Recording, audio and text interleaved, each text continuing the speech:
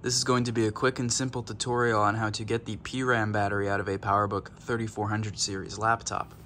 It's located right here under this speaker and it is extremely prone to leaking and when that happens it will leak over the board uh, and ruin it. These are rare computers so you don't want that. So here's a quick tutorial. Close the screen hinge, flip it over, doing this all one-handed. You'll have three screws to remove on the bottom of the unit. Number one.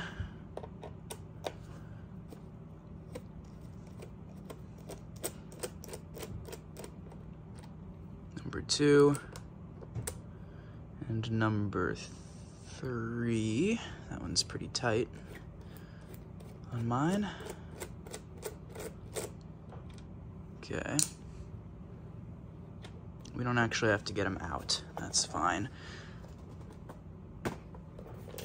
They've just fallen out, but that's fine. All right. Open the lid. Grab onto the space bar here. Lift up the keyboard and set it aside like that. It's already been removed from mine, so I'll just show you where it is. Remove this screw here.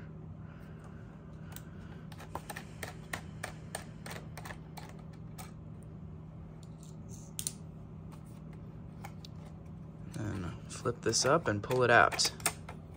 At that point, carefully lift this. And if you haven't already removed it, the battery will be right around here.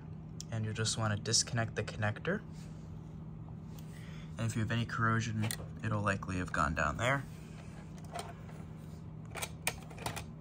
And um, the actual position, the cable will run through here under the palm rest into the DC power board. It's not completely necessary to remove it all the way. There is a disconnect that you'll see right around here. It may be difficult to get it disconnected because the first place the corrosion goes is it wicks up the connector. Um, that's how it was on mine and uh, I removed it at the power board because I was removing this piece, but it's a lot more difficult to remove this piece. So um, there may be a little bit of corrosion in the connector on the power board that you might want to check out, but if you just want to do a quick fix, and if you're planning on like swapping out a different hard drive later, you'll have to remove this anyway, you could do that and just leave it like that with just the battery out there and that part of the connector is still installed uh, for now, but you'll probably want to address that at some point because there could be some corrosion there. If you do want to get this piece off, it's annoying because there's a clip here and around here, so it's kind of difficult and tricky to get. Anyway, reassembly, simple. Get that piece reseated and then grab your screw in there, but you can just pretty much repeat the steps in reverse. I'm not gonna go through all this because it's really difficult to get screws back in one-handed. So, yep, pretty simple.